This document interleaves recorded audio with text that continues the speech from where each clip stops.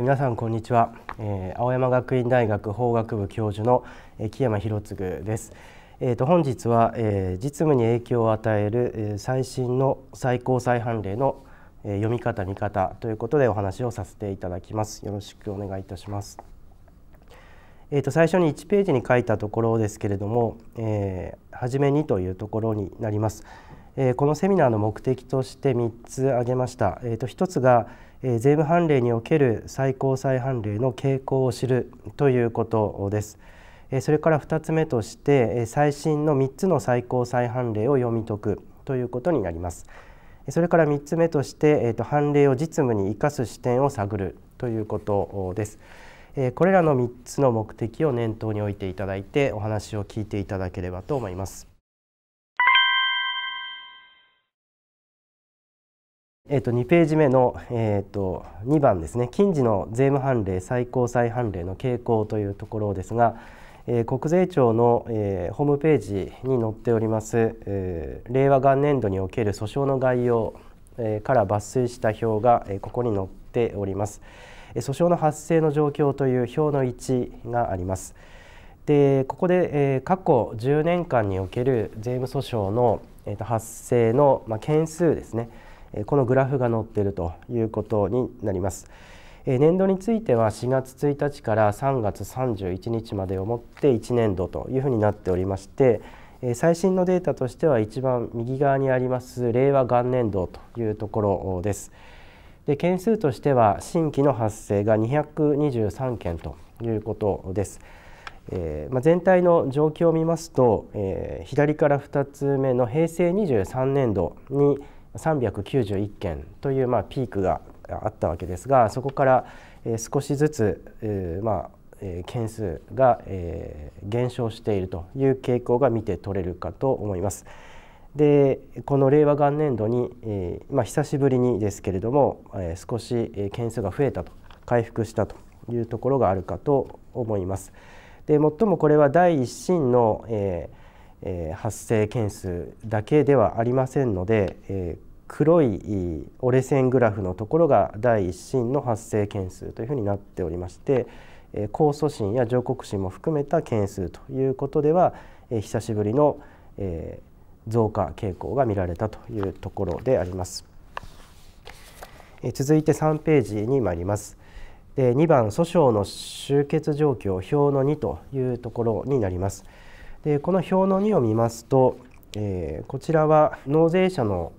勝訴件数あるいはその任用率勝訴割合というものが見て取れます。まあ、逆に言いますと国税の、えー、と敗訴件数あるいは、えー、と敗訴割合ということになりますけれども、まあ、緑色の部分に示される通り、まあ、ここが棄却ですので納税者の請求が、えー、認められるものの割合というのはとても低いと、まあ、ほとんどが棄却されているということが、えー、一覧してわかるかと思います。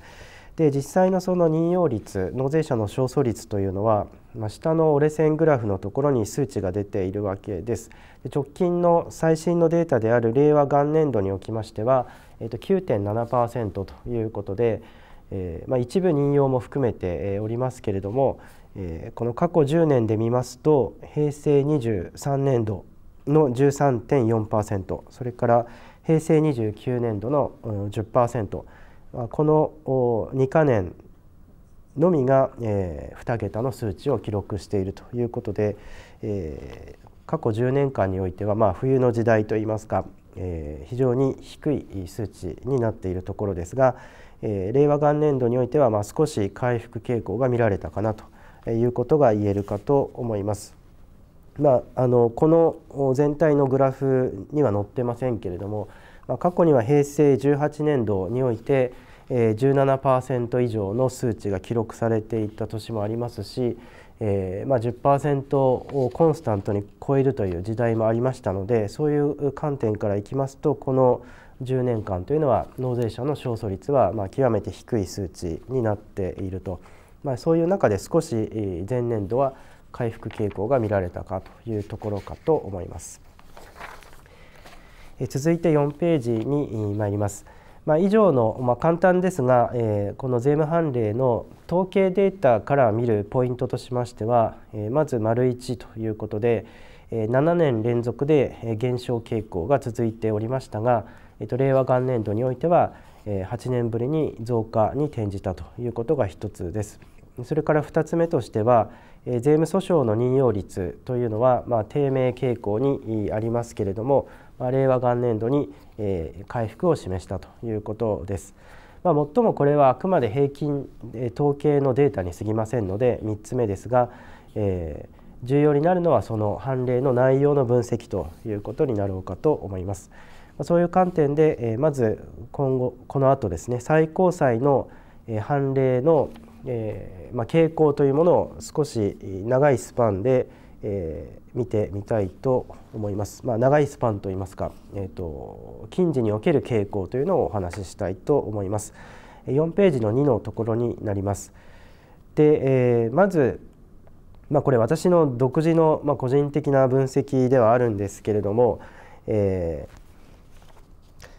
この平成27年に生じた判断基準の複雑化傾向というものを書きました。でこれは9月末に公表する私の論文で書いたものではあるんですがまず、え第1ステップとしては平成18年に、えま、これは、え過少申告加算税の正当な理由に関する最高裁の判例、などに顕著だったんですけれどもえっと、判断基準を最高裁の判例が明示するというものが、え見られるようになったということが、え第1ステップとして挙げられると思います。でそれが、えー、と第2ステップとして平成27年、えに、えさらにその判断基準が複雑化するという傾向が見られるようになったというふうに考えております。でまあそれはどういうものなのかというのを少し図に示しましたので、4ページの図をご覧いただければと思います。でまあ税務判例を読み解くにあたってあるいはこれを実務に生かすにあたって、まあ、重要になってくるのは何なのかと言いますと法的三段論法でその課税要件を法的に見ていくということが極めて重要になってきます。でそうなった時に、まあ、法的三段論法とは何なのかというのをここに簡単に示しておきましたが、えー、その具体的なその事実を証拠によって認定するという事実認定の作業とそれからその事実に当てはめるですねその法規範というものを税法の条文から解釈をすることで明らかにするというその法解釈この2つのステップがあるということになります。で法解釈によって明らかにされたその課税要件の具体的な内容、まあ、これを規範と言ったりしますけれどもえー、とこれに認定された事実を当てはめることで結論を導いていくということになります。で税法においては、えー、この結論というのは納税義務の発生、えー、納税義務の成立ということを意味しますから課税要件を充足するかどうかということをその事案ごとに法的に見ることによって、えー、具体的な課税が発生するか発生しないかということを見ていくということになります。で、えー、特にこの中でですね規範のところにまあ書いたわけですが、えー、税法の条文から、えー、課税要件は何なのかというその納税義務が発生するための、まあ、条件ですねこれを抽出するということがまず大事になるわけですがでさらにその要件を満たすかどうかというのをどのような基準で見ていくかというその判断基準ですね。えこれが、えー、ある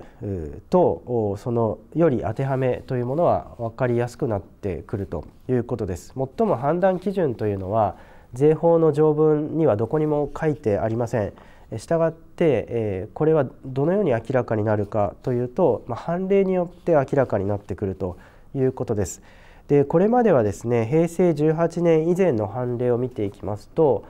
課税要件まあ、その規範を明確に定立した上で当てはめをするというものがそもそも少なかったわけですが18年から課税要件がまあしっかり明示されるものがまあ増えてきたと。でさらに平成27年でこのあと少しその例を見ますけれどもこの辺りからですね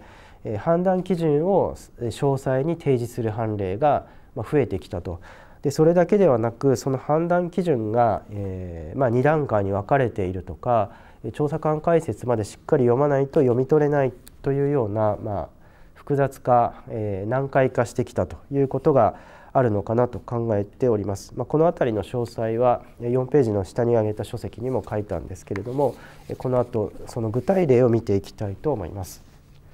はい、えー、とそれで、えー、とこの判断基準の、えー、と複雑化傾向についての、えー、具体的な判例というものをここに5ページに挙げました。で、まあ、一つ一つ細かく見てる時間はありませんが、えー、具体例をここに3つ挙げましたので、えー、これを見てみたいと思います。で1つ目例1と書きましたけど、まあ、これは、えー、と競馬事件ですね。で1と2という番号を私の方でつけたんですけれども、え、この1つ目のところで行為についてま見ているとそれから2つ目のところでま利益について見ているということになります。まあ、2段階で一時所得の非継続要件を見ているということになるわけですけどさらにその行為についてどういう事情を見ていくかということで、まあ、期間回数頻度その他の対応ということが書いてあるわけでそれから2つ目の利益についてもその発生の規模期間その他の状況等を見ていくということになってまして、まあ、一見しますと,、えーとまあ、ざっと見てしまうとそんなに複雑な基準には見えないかもしれないんですがこれが後の平成29年の札幌事件など他のこの後に出てきた事例との関係でこの判断基準を読み解いていきますと非常に複雑な基準になっているということが分かってきます。それから例の丸2というところに行きますが、まこれは匿名組合についての平成27年の最高裁判決ということになっております。まこれも私の方で1と2という番号をつけました。で、えー、と1のところで、えー、その匿名組合員が実質的に営業者と共同して事業を営む者としての地位を有すると認められる場合は、えー、ということが書いてあってそれから2の方ではそのような、えーまあ、地位が認められない場合それ以外の場合はという形でこれも2段階の基準になっているということであります。これは匿名組合の、組合員が得た利益の所得区分についての判断基準になっているわけですけれども2段階に分けられているということですね。それから例の丸3のところですがこちらは LPS の事件でありましてその外国の事業体が日本の税法上の法人にあたるかどうかということを示した判断基準としてこれも1と2という番号を私の方でつけましたがいわゆる外国司法を基準にする考え方とそれから日本の内国司法を基準にする考え方という形で2段階に分けて考えるということですね。でこれらはいずれも税法の条文には規定はされていないで規定はされている課税要件を、えー、具体的な事実に当てはめる際の判断基準として判例によってその基準が詳細化されたものになっています。でその内容は今見たように2段階あるいはその中身がさらに複雑になるというような形が見られるということであります。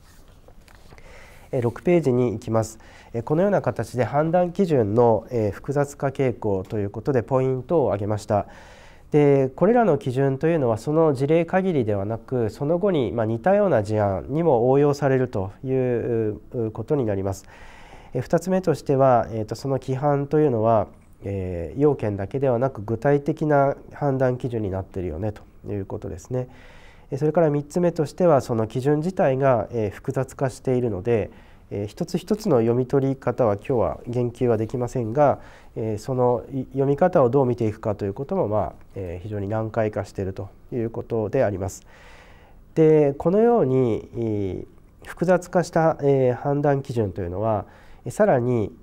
今までのお話は最高裁の判例の話でありましたが下級審の地裁や高裁の裁判例にも影響を与えてるんではないかというふうに分析しております。これが3の、まあ、第3ステップということになるわけですけれどもまず括弧1ということで、えー、最高裁の判例がえー、ない分野ですねあるわけではないんですけれども下級審自体が最高裁のような形で、えー、判断基準を積極的に、まあ、独自に定立していくというものが、えー、最近多く見られています。まあ、例えばあの債務免除益などに関しては最高裁が示した判断基準はないわけですけれども東京地裁やあるいは福岡地裁などが、えー、と債務免除というその免除行為そのものとそれからその免除が、えー、免除の対象になる、えー、と債務の発生ですね。この2つの事情などをどのように考慮しながら債務免除益の所得区分を、えー、判断すべきかということについて今さまざまな、えー、判断基準が下級審で定立されているという状況にあります。それから、まあ、実務的にも重要な必要経費の要件というのは、まあ、これまでもさまざまな裁判例で争われてきたわけですけれども、まあ、しかし最高裁が示した判断基準というのは、えっと、ないわけです。でそういう中で、えー、最近この大阪地裁の平成30年の、えー、判決などで、えー、積極的にその要件とそれから判断基準を具体的に示すというものが現れています。6ページから7ページにかけての判例ではその関連性要件というものとそれから必要性要件という2つの要件があるんだという形でその課税要件をまず明確に定立しているということになります。でそれからその2つの要件を具体的にどのように見ていくかということについて、え2のところで、え7ページですが、積極的に判断基準を定立しているということになっております。この判断基準については少し長めになっていますが下線の下から3行目あたりですかね当該業務の内容当該支出及びその原因となった契約の内容、まあ、などこういうものを客観的かつ実質的に見るべきだと書かれてますがこういった判断基準が地裁あるいは高裁などで積極的に明示されるようになってきていると。これはまさに平成27年に生じた最高裁の判断基準の複雑化傾向の影響を受けたものではないかと思います。でもう一つとは、えもう一つはですね括弧2ですが直接的な影響これは、えーと、最高裁の判例があってでその判例を、え地裁や高裁で、えこう影響が受けているというものになります。まあ視点としてはその「あ」と「い」に分けたんですけれども「えあ」のところでは論点は異なるんですね。え論点は異なるんですけど最高裁が提示した判例をそれをまあ応用していくそういう下級審の裁判例が現れています。一つ例としては例の丸2というものを挙げました。で、えっとこれは先ほどえっと見ましたえー、匿名組合の平成27年の最高裁判例ですね。でこれを匿名組合ではなくて、えー、その個人が、えー、共同事業をしていた場合に、えー、その、えー、他の共同事業他のその、え、事業を営む者から得た利益が、え、そのものにとっての事業所得になるかどうかということについての判断基準なんですね。で1と2に分けましたけれどもこの1と2というのは匿名組合について示された最高裁の判例と非常に似通っています。これがえ影響を与えているということが分かります。でさらに、えっと、3のところで、えこの1と2に当たるかどうかについての、えっと、判断基準も、え示しているというところに特徴が、え見られます。まあ、こういう形で、えっと、地裁の裁判例も、えー、と判断基準を積極的に示すことで、えー、複雑化しているということが挙げられるかと思います。で「い」のところなんですがこちらはその類似の事例において、えー、基準の在り方を模索するものというふうに書きました。で、まあ、例えばですけども給与所得についての最高裁判例というのは、まあ、昭和56年に先例があるわけで、まあ、弁護士顧問料事件というものがあるわけです。で他方で、えーと、平成27年に債務免除益の所得区分あのそうですね。債務免除益が給与所得にあたるかどうかということについて示された最高裁の判例もあるわけでこの給与所得というものを、えー、最高裁がどう捉えているかというのは、えー、少しその要件が変わってきてるんではないかあるいは、えー、変容してるんではないかというような議論もあるわけですけれども、えー、下級審の裁判例を見ますと、まあ、例の1ですが、えー、給与所得と事業所得の区別が争われた、まあ、これはホステスの、えーえー、ホステス報酬の、まあ、新しい裁判例なんですけどこれなどを見ますと56年判決と全く同じ基準をそのまま使っているということが分かります。8ページにかけて、えー、判例裁判例を引用しておきました。それから、えっと、例の2の方ですけれども、えー、こちらについては、ね、平成27年の債務免除益の最高裁判例を、えー、そのまま使っているという裁判例も現れています。でまあ何が違うのかというのを分析してみますと、まあ、前者については給与所得か事業所得が争われのの区別が争われた裁判例になっていると。で後者につきましては、えっと、役員が得た経済的利益の給与所得該当性が争われていると。こうやって見ますと最高裁の判例についても、えー、下級審で、えー、読み取りながらですねその基準をどういう事例に使うのかということを模索しているんではないかということが伺えるということです。まあ、以上、えーと、簡潔でありましたが下級審の裁判例への影響の、えーと、ポイントのところですがまず丸1下級審の裁判例においても規範の提示をするものが増えているということが挙げられます。それから丸2ですが最高裁の判例の判断基準をその異なる論点に応用するものも下級審に現れていますとそれから丸3ですが最高裁の判例の判断基準をその類似の事例でどのように適用すべきかを模索するものがあるんだということになります。えということで、えー、と8ページまでの、えこの最高裁の、え判例の傾向の分析についてのお話は以上になります。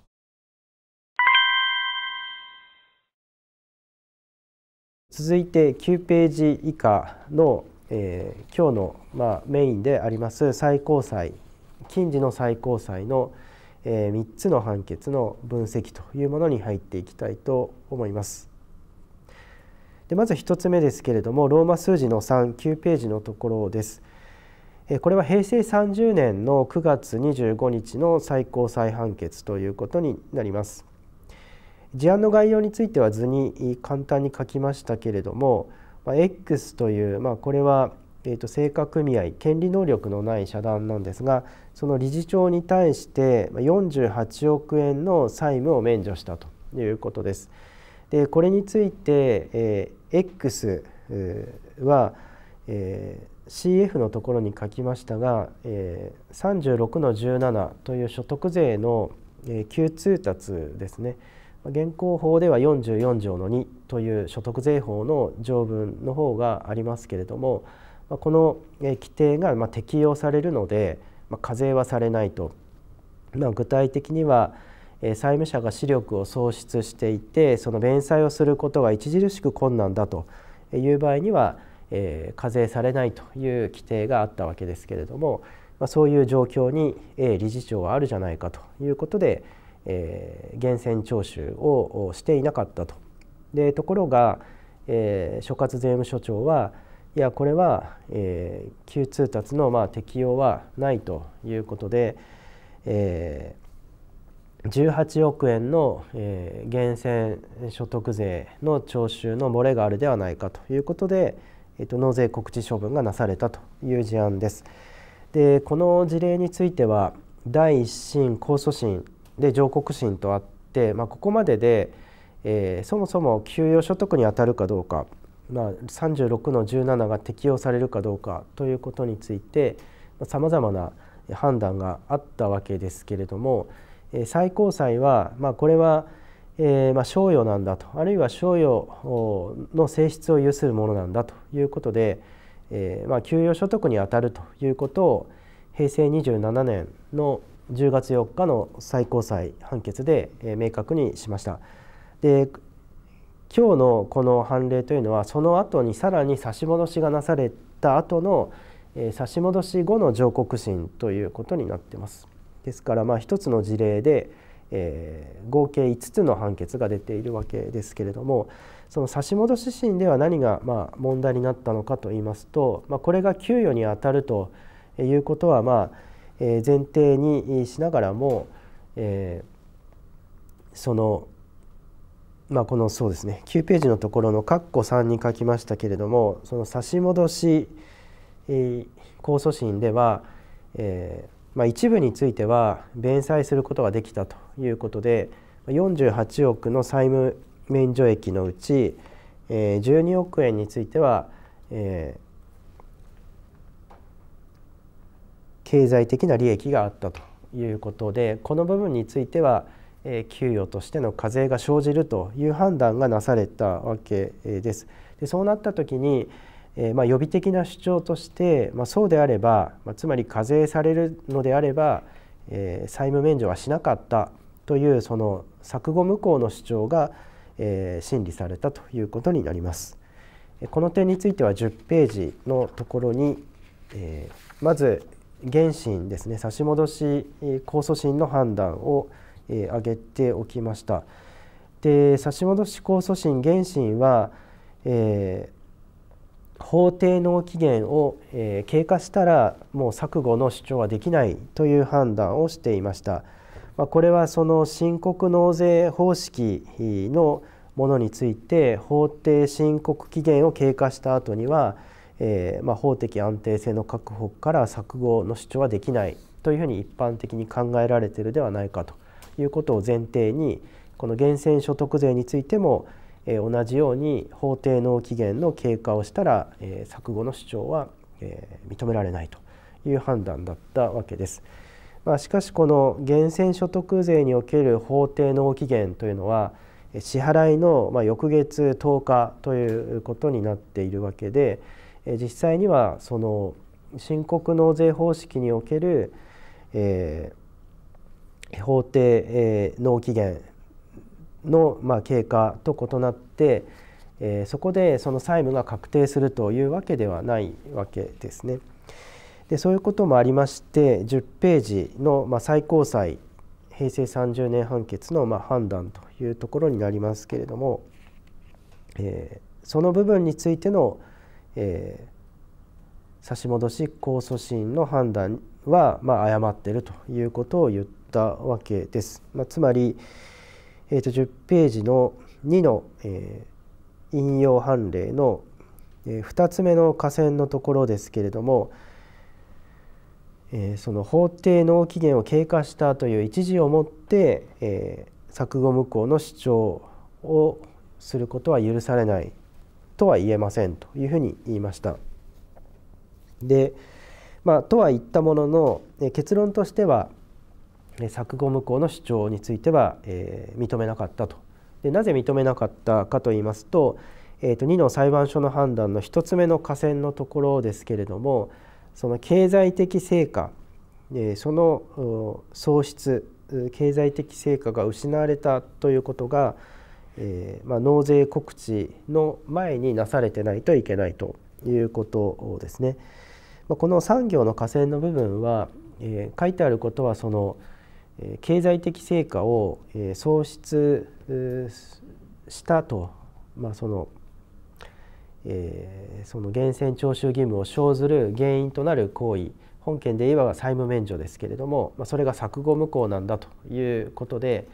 えー、経済的成果を喪失していれば納税告知をすることはできないということを言っているわけで、まあ、これが規範部分になるかと思います。ただ本件の場合は10ページの本文の最後の行の下線にありますように X においてはその経済的成果の喪失がその納税告知前にま失われたということを主張してないではないかということで、え錯誤無効の主張を認めなかったということになります。で、えーと、この点について、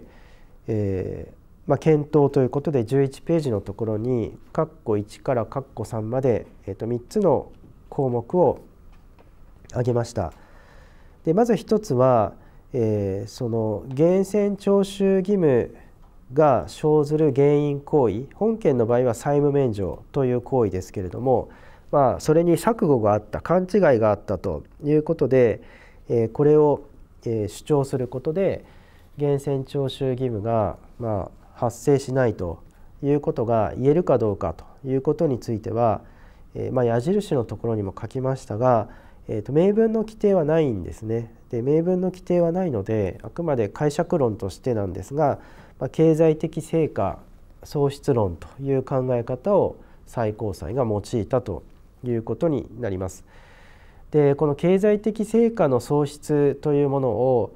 えー、無効あるいは取り消しが生じた場合に要件とするそういう条文は所得税法あるいは国税通則法に、まあ、合計所得税法は施行例になりますけれども、えー、と3つあるんですね。でそれらのま考え方をまあこの源泉徴収義務にも最高裁がま明文はないけれども応用しているということが一つ言えるかと思います。で問題は、えー、2とそれから3のところです。まあ、この判決はまあ複雑化傾向があるかと言いますと、まあ、そこまで判断基準が示されているというほどその複雑化はないようにも見えます。でただですねこの、えっと、いつまでに経済的成果の創出の主張をすべきなのかということについては、まあ、読み取りが難しいというふうに思います。でこの点については、えー、脚中の5にも挙げました調査官解説を読むと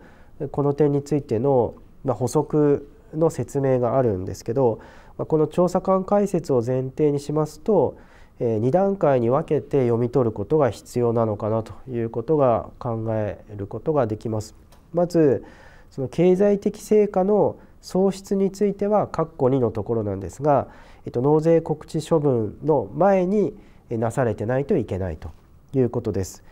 で、えー、錯誤無効の主張についてはいつまでにすべきかというと括弧3のところに書いたんですがこれについては、原審差し戻し控訴審と違って法定納期限経過後でも良いんだということでこの主張の時期についてはまあどうやら制限は特に設けてないという判例として、読むことができるんだと、まあ、そういうことが調査官解説を読むと書いてあるんですけどただこの判例の、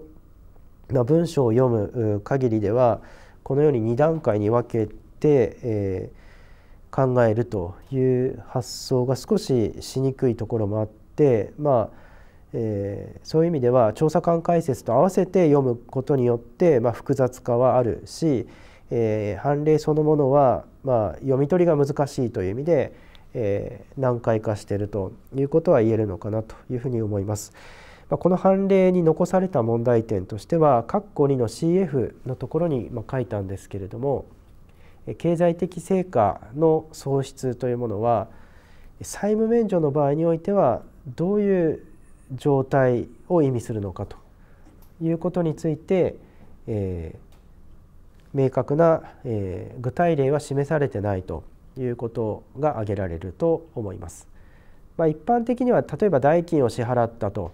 でしかしその代金を支払ったその原因となる売買契約が無効だったという場合にはその経済的成果の喪失というのはその支払った代金を返してもらう代金の返還返還があるということであればまあそうだよねということが言えると思うんですが債務免除というのは、えー、その債務を支払わなくてはよいという意思表示をしただけでありますからえー、それをまあ債務免除が無効だというふうになった場合にその経済的成果の喪失というのは具体的にどのように考えるべきなのかということが問題になるわけです。で本件の場合はそもそもそういう主張がないということで終わってるわけですけれどもさまざ、まな判例表釈などによると、まあ、例えばその担保を再設定するということが必要なんではないかとあるいはえー、弁済計画をもう一度立てさせて、えー、少なくとも一部の、えー、債務の履行、まあ、弁済というのが必要なんではないかというような、ええ解釈なども示されていますしま調査官解説を読みますと、まあ、その少なくとも請求は必要ではないかあるいは、え債務免除なかったというんであればその債権についての保全措置というものも必要なんではないかと、まあ、あるいはこの、えー、と債務免除行為というのが不動産の譲渡という大仏弁済もワンセットになって行われてたというこの事例の特殊性もありましてまそういうことからするとえその不動産の譲渡もえ合わせてえなかったというふうに当事者が扱っているという状態が必要なんではないかと。まその不動産から生ずる賃料を X が収受しているとかあるいはその不動産の抹消登記がなされてないとかそういうことなどを見ると経済的成果が創出されたとは言えないよねというようなことが調査官解説の、え注釈には書いてありました。まあ、これらはあくまで判決そのものには書いていないことになりますので、えこの判例を実務にどう生かしていくかということを考えますと経済的成果の創出というのは債務免除の場合にはどういう行為が必要なのかということを、まあね、今の話などを参考にしながら念頭において具体的にそれらを、えー、証拠として残しておくことが必要になってくるであろうということが挙げられるかと思います。はい、でこの平成30年の最高裁判決の、まあ、ポイントを11ページの最後の枠の中に挙げておきました。まず丸1ですけれども、えー、と短い判決文にはなっているものの、えー、その規範を読み取ろうとした時には、まあ、調査官解説も含めて読むと2段階になっていてやはり複雑だよねということです。それから2つ目ですが、えー、と何をもって経済的成果の創出とするかについては判例の集積が待たれますよねということです。それからえ3つ目ですが、まあ、これは、えー、と言及はしてなかったんですがその申告納税方式の、えー、と場合にもこの判例の射程が及ぶのかどうかということについては議論の余地があるのかなと思います。まあ、そういう意味でもま短い判決で、えー、少し分かりにくい判決ではあるんですが、まあ、一つ一つよく分析していくと結構奥が深くて判例の集積がやはり待たれるんではないかということです。はい、えっと、以上で、えー、平成30年の最高裁判決の分析は終わりにしたいと思います。続いて12ページのところに参ります。えー、ローマ数字の4ですけれども最高裁判決の丸2ということで、えーと令和2年の3月24日の最高裁判決になります。こちらについては事案の概要というものをまず1のところで示しました。で、えー、A 株式会社の代表取締役である B が生前に、えー、C という有限会社に、えー、A 社の株式72万5,000株を譲渡したという事例です。まあ、代金としては5437万5,000円というものが支払われていたということです。で B が亡くなって、まあ、この譲渡した、えー、年中に亡くなったのでその X ら相続人が、えー、この B の、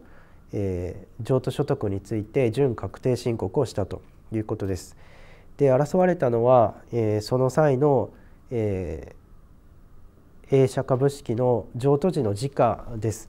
でなぜかと言いますと B は個人で、え C は法人ですので個人が法人に時価の2分の1未満での譲渡をしたということになりますと、まあ、時価で譲渡したとみなされるという所得税法の59条の規定がありますので、まあ、いわゆるその定額譲渡にあたるかどうかということで時価が争われたということです。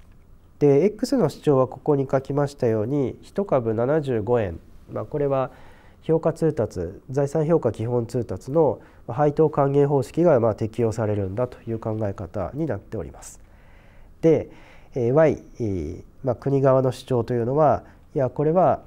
評価通達の類似業種批准方式が適用されるので1株の時価は2505円だということで大きな差異が出てくるということになります。13ページに参りますが、まあ、問題になったのは何なのかということで下級審では判断が分かれたわけです。13ページの図表に書きましたように、えー、と控訴審では X の主張がまあ認められていたということです。で第一審では、えー、Y の主張国の主張が認められていたということになります。ま、細かいことについて、ま、話すと時間はなくなってしまいますので、えーと、概要のみお伝えしますが、ま、ポイントとしてはこの図表の、え、左から3つ目の少数株主該当性というところに書きましたようにこの評価通達188括弧2から括弧4の読み方として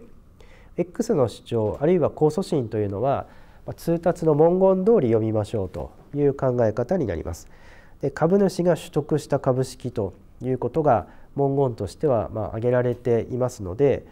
えー、この譲渡時の時価を判断する際の、まあ、議決権割合ですね少数株主該当性を見るための議決権割合を、え、どういう基準で見るかということについては、えー、この C ですね C が実際に取得した時点の議決権割合で見ようというのが X の主張だと。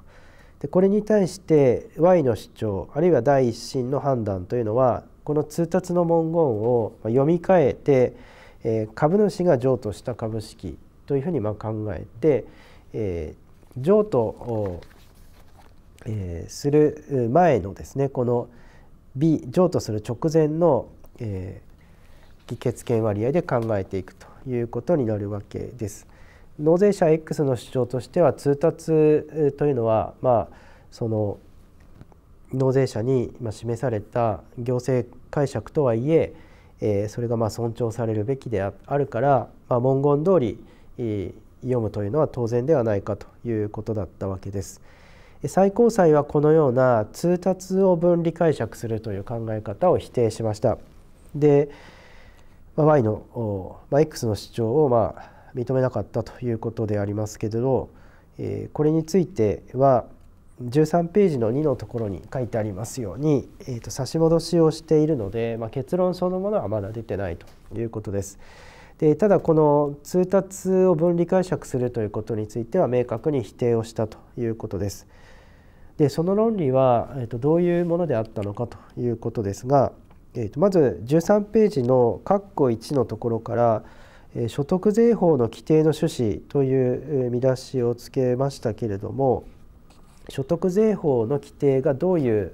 立法趣旨のもとで規定されているかということについて14ページにかけて判示されております。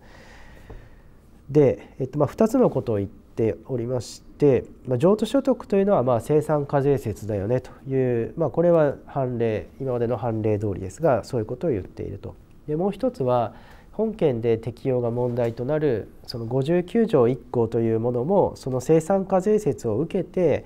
規定されたものだよねということを言ってるわけです。つまり譲渡所得というのはその譲渡その資産の移転がま生じた時の値上がり益キャピタルゲインに対するま課税なんだと。これが時価の2分の1未満でなされてしまうとそのキャピタル譲渡時の値上がり益に対するキャピタルゲインに対する課税にができなくなるという問題が生ずるので、まあ、時価で課税するという規定だよと、まあ、こういう所得税法の規定の趣旨をまず確認しているというのがこの判例のポイントになります。でその後括弧2のところでこの通達の読み方というのを見ていくわけですけれども最初の下線ですね真ん中にある下線のところにあるある部分というのは、まあ、これはその評価通達の規定におけるその相続税あるいは贈与税について、えー、どういう見方をしているかということを述べているところです。まあ、つまり配当還元方式を用いるかどうかということについて会社に対するその株主の支配というものをどういう点で着目しているかと言いますと、えっと、取得したえー、ものですね贈与を受けたあるいは相続をしたものの会社に対する支配力支配力に注目しているということです。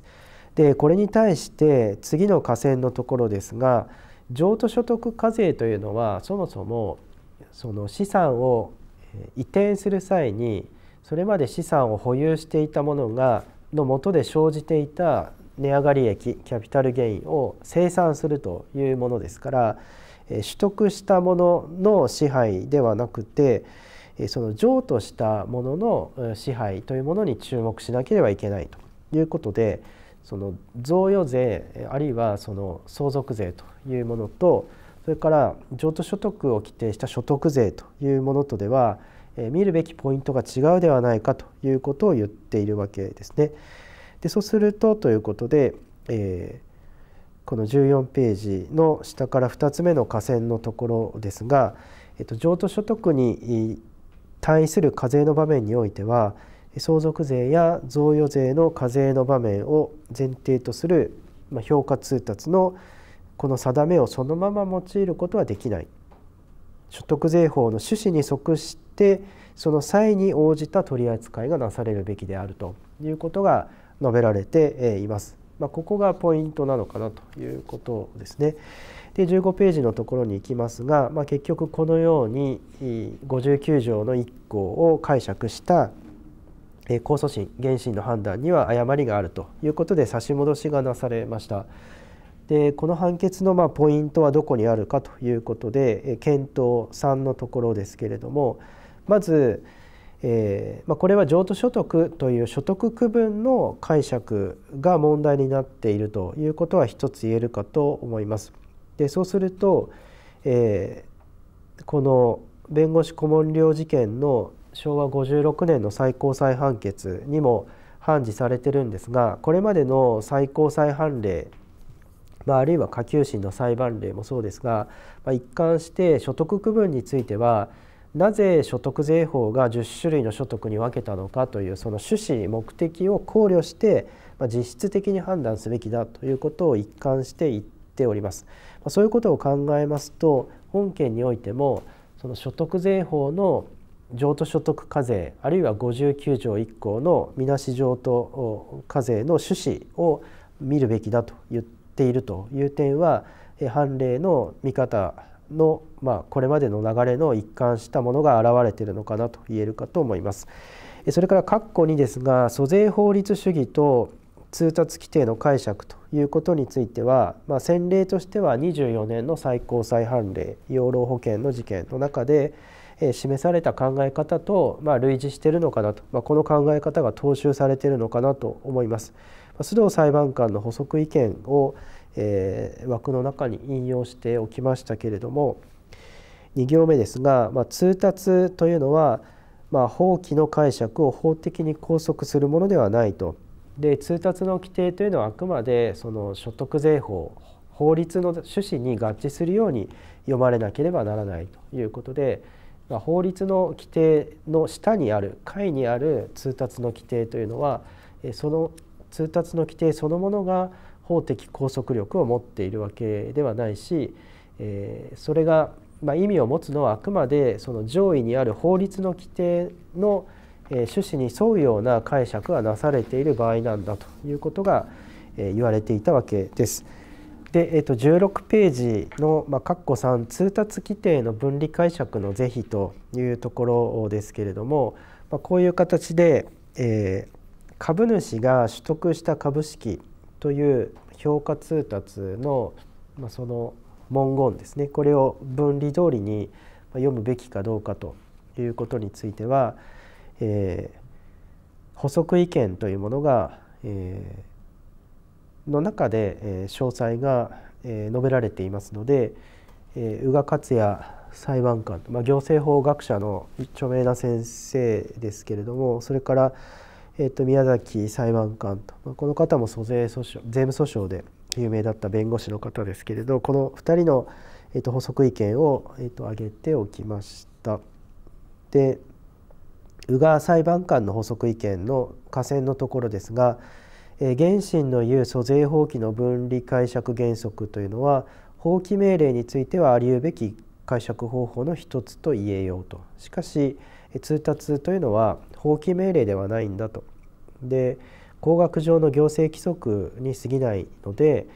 まあ、これは国民を拘束するものではないし裁判所を拘束するものではないということが述べられています。その後の最も以下のところではしかしまあ結局読み替えないといけなくなってしまうという通達の読み方。その法律の規定の趣旨通りに読むとなると文言通りに読めなくなってしまう。ということはその通達の規定の文言に問題はあるであろうという指摘はなされています。省略しましたが同じような指摘は下の宮崎裁判官の補足意見でもなされております。まあ、先に言いますと16ページの下の矢印ですが、まあ、このような両補足意見の、まあ、考え方をま踏まえてということになるかと思いますが通達の改正がま促されることになったというのは一つ挙げられます。それから、えー、とこの宮崎裁判官の補足意見のところで、ま、その通達の分離解釈についてですがやはり宇賀裁判官と同じような、え、見解が、ま、述べられていると。ま、より具体的に言いますと、えー、そうですね上から12345行目ですかねそのような取り扱いをすべきことがその関連法令の解釈によって導かれるか否かが判断されなければならないということで、えー、通達の文言というのが税務訴訟で問題となることは多いけれどもそれはあくまでその法律ですね。税法というその法の解釈によって導かれる内容に通達の規定が合致しているかどうかということが判断されているに過ぎないんだということが確認されております。で最後の、えー、ところですが分離解釈というのは重要な税法の解釈原理ではあるけれどもそれはその通達には及ぶものではないということが明示されているということです。17ページに参りますが以上の令和2年のこの見出し上との最高裁判決のポイントとしてはまず丸1ですが所得区分の解釈では規定の趣旨というのはやはり重要であると。それから2つ目ですが通達規定というのものについては税法解釈の原則である分離解釈は妥当しないそれから3つ目ですが法理判決というのは判例理論が明確に示される判決を法理判決と言ったりしますが本判決はまあそこまで明示されてたものというよりは、まあ、事例判断の中にえ補足意見に示されたような考え方がま含まれているということになるかなと思います。まあ、いずれにしてもこの判決もま補足意見などを読むと、えー、理解はしやすくはなる部分はありますけど判決そのものは、えー、まあ難解なのかなとやや読み取りにくいような判決になっているかなという点は指摘できるかと思います。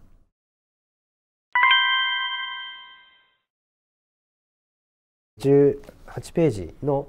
最高裁判決丸3に入ります。これが最後の判決です。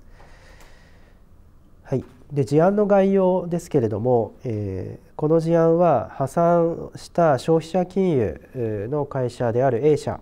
の、まあ、破産管財人が、まあ、過去ですね平成7年から平成17年の事業年度などにおいて、えまあ、いわゆるその利息制限法に違反する超過利息ですね。これを益金に計上していた、まあ、それ自体はまああのその通りであるわけですけれども、えー、しかし破産してそして破産債権者表に、まあ、この不当利得として返還すべきということで、まあ、確定した、えー、破産債権が、えー、確定したということで、まあ、これを管財人が、えー、可年度に、まあ、訴求して、えー、益金を減額するという修正をした、まあ、それに基づいて公正の請求をしたわけですけどそれが認められるかどうかという争いであります。えー、Y 国の主張としてはあくまで法人というのはその前期損益修正がまあ原則であってその例外を認めるような明文規定は本件にはない以上はまあ、破産した会社であったとしても、えー、あくまでその事象が事後的に生じた時の、えー、事業年度の中で処理をすべきであって過去に遡るという扱いは、えー、認められないという考え方になります。本件のまあポイントとしては18ページの認定事実の、えーと、いのところで555億円の破産債権が確定したということとそれから「う」に挙げました、まあ、配当が3億円それから19ページに挙げたように追加で12億円ですから合計15億円の配当はなされていたということになります。裁判所の判断19ページの2のところですけれどもまあ、この判決はまず括弧1のところで、まあ、企業会計がどうなっているかという具体的な話が書かれています。で、えー、まあ、河川の括弧1の最初の河川のところですけれども、まあ、過去の損益計算に遡って修正することは予定していないと解されるということが書かれています。2段落目のところでまあ、法人税法というその法律においても、まあ、確定した決算が、えー、に基づく申告というものが求められているよねということで3段落目このようにというところですが法人税の課税では原則はその事業年度ごとの収益等の額を計算するという建前になってますよと。次の20ページですけれどもでそうすると前期損益修正というものが、えー、公正処理基準いわゆるいわゆる公正処理基準ですね22条4項の一般に公正妥当と認められる会計処理の基準に合致するということが判断されています。括弧2のところでは結局その河川のところですがその事業年度をまたいで課税関係が調整されるという場合には四角で囲ったんですけど特別の規定が、まあ、明文の規定が必要だよねと原則を修正するためには例外としての明文規定が実際に、え、その繰越欠損金とかにおいて規定されているではないかと。で本件においてもつまりその破産した、え、会社の問題においてもその原則というのは変わらないんだと。でそうすると、えー、明文規定がないその例外を定めた規定がない本件においてもやはりその可年度訴求修正というのは認められずその前期損益修正が公正処理基準に合致すると。で20ページの最後の下線ですが、えー、下線最後の下線の下から2行目ですがそれは本件のようにまあ配当がされていたということがあっても変わりませんよということが述べられています。この判決の検討のところですが21ページの3ですねまず括弧1、まあ、前期損益修正なのか、まあ、遡る訴求的な修正なのかということについて、えーまあ、継続企業についてはそうかもしれないけど本件のように破産した場合は違うんではないかということが議論されたわけです。で原審控訴審はまあこれを認めていたわけですね X の主張を認めていたわけですけど括弧2です、えー、最高裁は法人税法のま原則と例外というのをま法律主義と書きましたがあくまで例外についてはその例外としての規定がないといけないというそういう形式論で判断をしたということが言えるかと思います。でまあ、先に括弧3公正処理基準のところを見てしまいますが、まあ、事例判断として、ま、淡々と処理されてるなという印象です。つまり公正処理基準というのはどういう観点で見るべきかみたいな、えー、一般的な判断基準というのは示されていません。まあ、そういう意味で、えー、まあ、事例判断なのかなと思います。括弧2の CF のところですが原審控訴審ではえー、先ほど見た平成30年の最高裁判例のように経済的成果喪失論を使って納税者の主張を認めておりました。でそれを少し引用したんですけれども、まあ、確定判決と同一の効力をま有するような事後的な事象が生じた場合には公正の請求が認められるというふうに23条2項の1号では規定されているわけですけど原神はそこにさらに経済的成果の創出も必要だという解釈をした上でで配当されたもの15億円現に配当されたものは元に戻しているので創出していると。でそれだけではなくさらに破産債権者表に記載をされた555億円ですけどね合計。配当されてないものについても経済的成果の創出と同一視できるような状態が生じているのでこれも認めていいというさらに、えー、その救済の枠を広げるような解釈を実はしていました。でこれらの議論というのは先ほど見たように最高裁では全くされず、えー、淡々と X の主張をまあ排斥するという処理がされたということになります。えまとめますと22ページですがまず丸1です。法人税法の初規定からこの令和2年7月の最高裁判決では法律主義が徹底されているようです。まだ調査官解説などは出てないので、えー、新しい判決なので、えー、私なりの読み方ですがそれから2つ目公正処理基準該当性の、まあ、一般的な判断基準は示されなかったと、まあ、いうところですね。えー、3つ目として今お話ししたようなその経済的成果創出論私は結構注目していたんですがここに触れる必要もない形で処理をしてしまったので、まあ、ここは何も明らかにされずに終わってしまったということです。